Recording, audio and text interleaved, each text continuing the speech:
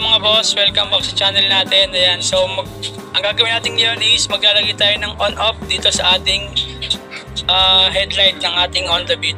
So sa mga hindi nakakaalam yung Honda Beat po, pag open ng makina niya, is antimano, may ilaw na po kagad yung ating headlight. So ang switch lang nito is high and low.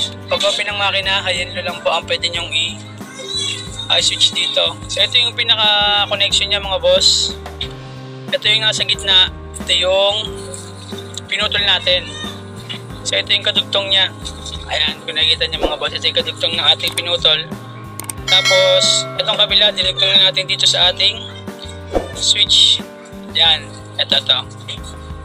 Ito mga boss, itong switch natin ng on-off sa ating headlight. Yan, dito natin dinugtong yung isang part na pinutol natin dito sa ating ayan, kung nakikita niyo itong headlight ha.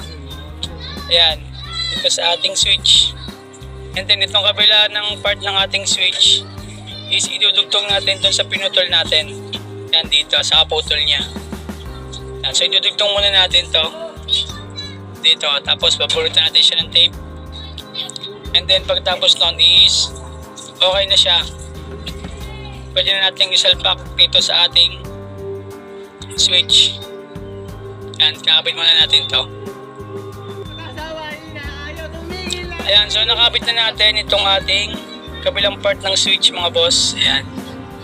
Nakikita nyo, na-tape na siya. Electric- Electrical tape. Ayan, so make sure lang na maayos yung pagkakaano nyo, pagkakabalot. And then pwede na natin isalpak dito sa ating pinaka-switch niya. Ayan. Salpak na natin yan. Ayan. So pagka salpak natin, pwede na natin siyang i-testing itong ating headlight.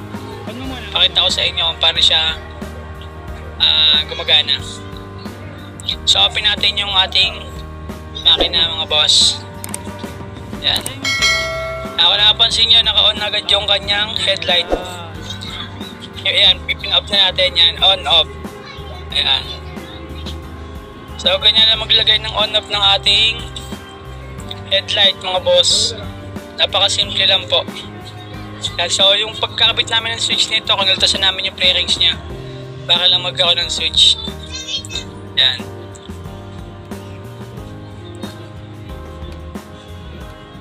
high and low. Ayan. So, ganun lang maglagay ng ating switch mga boss. So, hanggang dito po ulit and maraming salamat po sa palaging panonood ng ating mga video and God bless po.